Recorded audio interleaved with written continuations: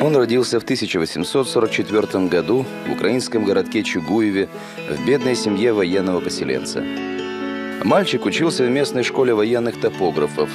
Там, в семилетнем возрасте, он впервые взял в руки кисть.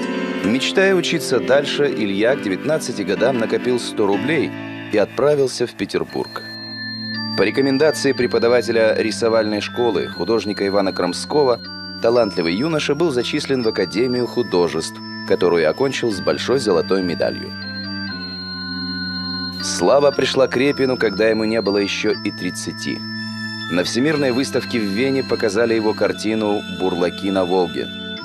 Художник работал над этим полотном около пяти лет. В 1885-м художник завершил одну из своих самых известных исторических картин. Иван Грозный и сын его Иван 16 ноября 1581 года. Репин запечатлел реальное событие. Царь убивает своего сына. Купивший полотно коллекционер Павел Третьяков должен был по распоряжению государя держать картину в закрытом хранении. Только в 1913 году Репинский шедевр стал доступен для всеобщего обозрения.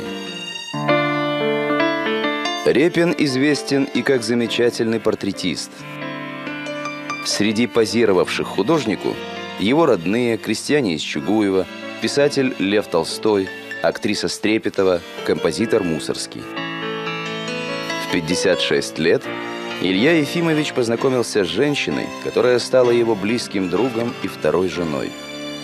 Наталья Борисовна Нордман-Северова помогала ему в работе над картинами, а он писал ее портреты. В Куоколе, в двух часах езды от Петербурга, она купила имение Пенаты.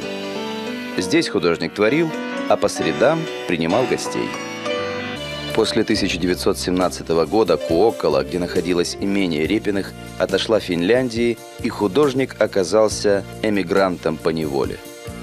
Вернуться в Россию ему не давал страх перед коммунистами. В Пенатах он и скончался 29 сентября 1930 года. О его картинах Лев Толстой говорил «Мастерство такое, что не видать мастерства».